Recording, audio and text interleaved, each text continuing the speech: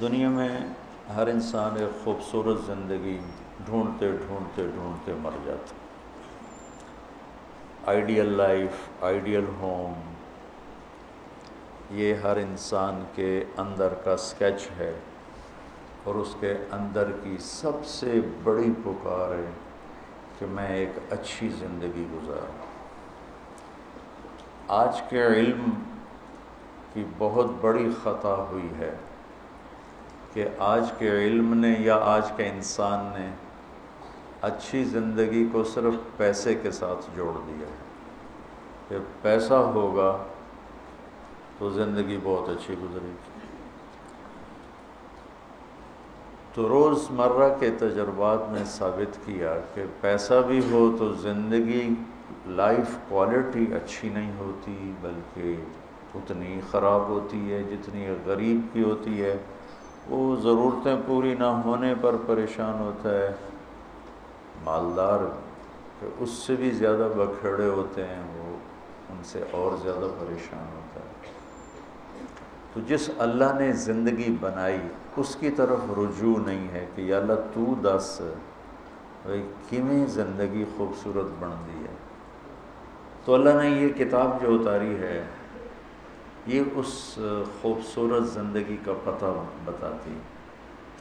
और अल्लाह दावा करता है कि इन नहादलक़ुरान यहदी लती ही अकवा। कि ये सिर्फ़ कुरान ही है इन नहादलक़ुरान सिर्फ़ यही कुरान ही है, जो सही ज़िंदगी का रास्ता बताता है, पता बताता है। कुरान का इल्म ज़िंदगी को के हुस्न जमाल को पैसे से नहीं जोड़ता, बल्कि इंसानी अखलाक के साथ जोड़ता है और इंसानी किरदार के साथ जोड़ता। ये बहुत बड़ा फ़र्क है।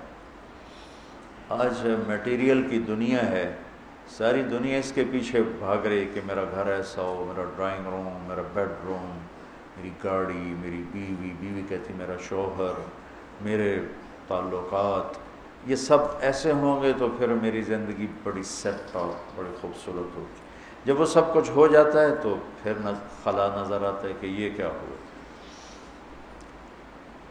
तो कुरान, यानी मेरा अल्लाह, यानी मेरा नबी, ये सब मिलकर ज़िंदगी के जमाल को, हुस्न को, खूबसूरती को ज़ात के साथ जोड़ते हैं कि इसे ठीक कर।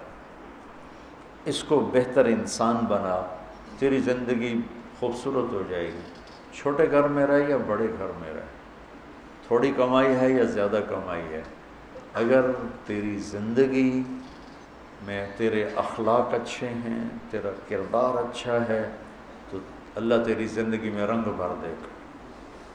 क्योंकि अन्न हो अदहा का व अब का कि खुशी लाने वाला भी अल्लाह है और गम लाने वाला भी अल्लाह है। ऊपर से खुशी का तार हिला दे तो सूली पे मुस्कुराते हुए लोग चढ़ रोते किस खुशी से हुसैन अपनी औलाद समेत नेज़ों पे चढ़ गए किस तरह मुस्कुराते हुए मौत को गले लगाए। अबिल मौत तो खौफ़नी, जंग से पहले आपका मशहूर मकूला है, शिमर को अबिल मौत तो खौफ़नी। जानवर मुझे तो मौत से डराता है। मुझे मुझे मौत से डराता है। जब ज़िंदगी खूबसूरत होती है तो मौत भी खूबसूरत लगती है। वो भी खूबसूरत होती है। जब ज़िंदगी थकी होती है तो मरना भी आज़ाब नज़र आता है। तो ये अल्लाह की किताब है। जो ये दावा करती है, यानी ये मेरे अल्लाह का दावा है, ये मेरे नबी का दावा है कि इस, ये दो गत्तों में ये जो कलाम लिखा हुआ है, इस पे अपने आप को ले आओ, तुम्हारी ज़िंदगी हसीन हो जाएगी खूबसूरत हो जाएगी।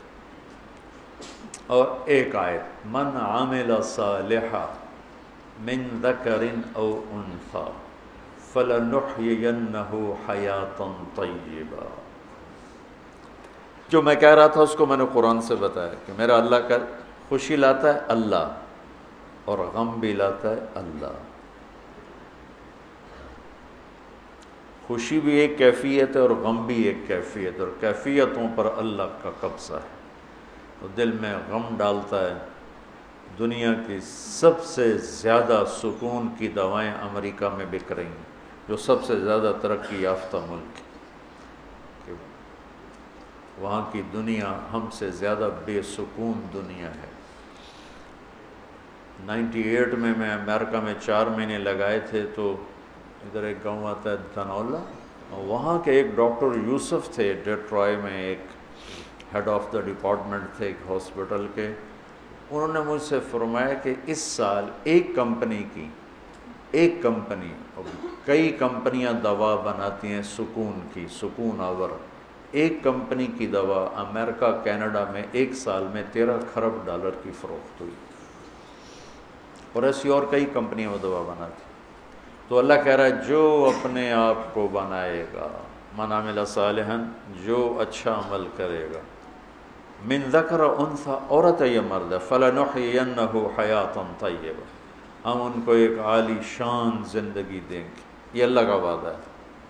और फिर, वाला नजन हम अजर हम बे अहसनी माकान फिर मौत के बाद हमारे पास आएँगे तो उससे आली शान दर्जात पाएँ